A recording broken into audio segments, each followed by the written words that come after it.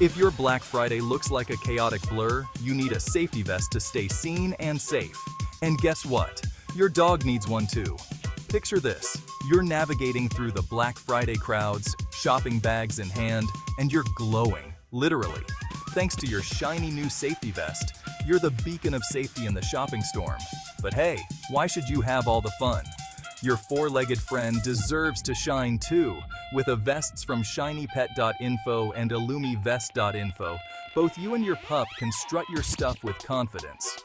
Need one for you both? Check out w.dcsleds.com. Get two wins with one move.